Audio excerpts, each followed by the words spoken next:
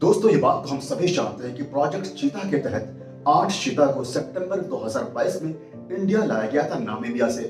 और इन्हीं आठ चीताओं में शाशा नाम की एक चीता भी शामिल थी, जिसकी पिछले सोमवार यानी 27 मार्च को मौत हो गई। दरअसल इसकी मौत किडनी इन्फेक्शन की वजह से हुई थी, जिसे जाँच के दौरान छिपाया गया था जब वे नामीबिया से इंडिया लाए जा रहे थे। इंडिया आने के बाद उसकी कंडीशन स्टार्टिंग में तो ठीक रही लेकिन 22 जनवरी के बाद उसकी कंडीशन बिगड़ने लगी और एज ए रिज़ल्ट उसे बड़े बाड़े से छोटे बाड़े में शिफ्ट कर दिया गया। लेकिन फिर भी उसकी मौत हो गई। डॉक्टर्स ने काफ़ी कोशिश की उसे बचाने की, लेकिन उसकी कंडीशन दिन ब दिन बिगड़ते गई और एट द एंड उसकी मौत हो गई। पर दोस्तों, भले ही शाशा आज इस दुनिया में नहीं है, लेकिन हमें निराश नहीं होना है। और पॉजिटिवली ये सोचना है कि प्रोजेक्ट चीता ज़रूर कामयाब होगा। At present Kuno national park में 19 चीता मौजूद है जो अच्छा कर